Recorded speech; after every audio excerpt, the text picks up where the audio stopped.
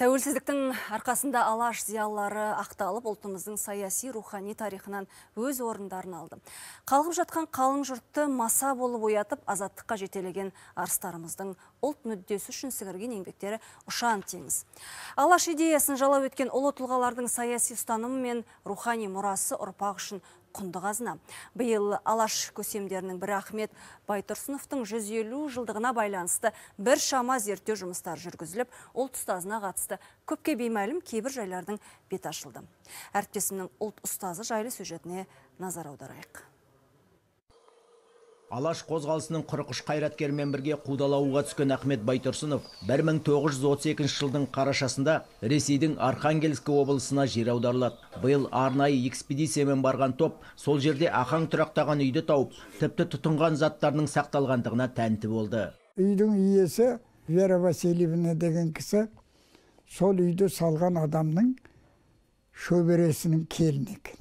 Содан көрсетіп бір үлкен ағаш керует сосын ағаш шкаф жәшік екі қабатты.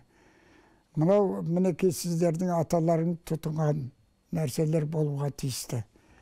Деп содан бір бұрынғы шоқпен қыздырылатын темір көтек. Мұны да сіздердің аталарыңыз қолданған болуға тиісті деп. Қарағанды облысының Қарқаралы ауданына қарасты Ақтерек ауылында көне ағаш үйі бар. Бұл тарихи ғимаратта бір кездері ұлт ұстазы Ахмет Байтұрсынұлының сабақ бергенін біреу білсе, біреу білмейді. Академик ғалым Ақжан Машановтың келтірген деректеріне сүйенсек, ағартушы 1904-1909 жылдары дәл осы жерде дәріс оқыған. Көпке дейін мойындалмаған ғой Ахмет Байтұрсыновтың дәріс бергенін жөнінде енді ол кісіні білесіздер қоянды жәрмеңкесінде қарқаралыда болып петиция жолда, жолдады оқу ағартушысын жолға қоюға үлкен қызмет атқарды ол кісі. Ахаңның жан жары александра мұсылманша есімі бәдір сапаның да қилы тағдырының беймәлім тұстары көп. Ұлы тұлғаның сенімді серігі адал жары туралы өмірдерек анық емес. Тіпті әлі күнге жерленген жерін де нақ басып айту қиын. Жақында зерттеушілер құнды құжат бәдір сапаның горкийдің әйелі екатерина пешковаға жазған хатын тапты. Бұл хатта ол кісі мына пешковаға мынандай сауал жұмсайды. Менің күйеуімді 15 августта ұстады.